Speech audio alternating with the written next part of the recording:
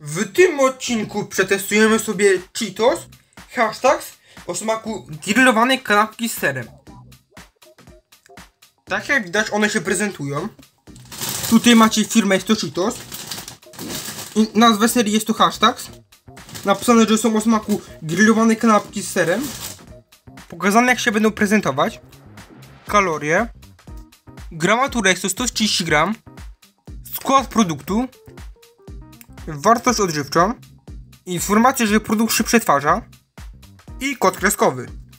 Teraz możemy przechodzić do otworzenia produktu. I przysypania go do miseczki.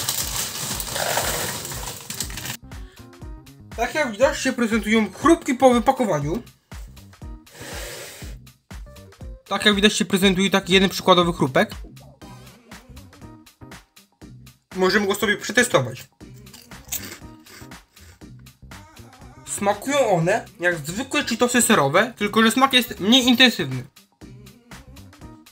Tutaj macie cena, jest to 5,99.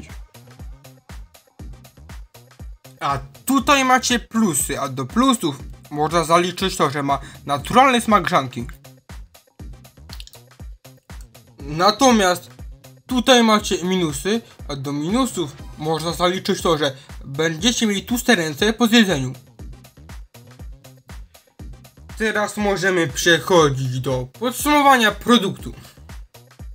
Podsumowując, produkt zasługuje na dużą, ale zasłużoną ocenę 6 na 10, ponieważ jest nawet smaczny. I na dzisiaj to koniec i papa!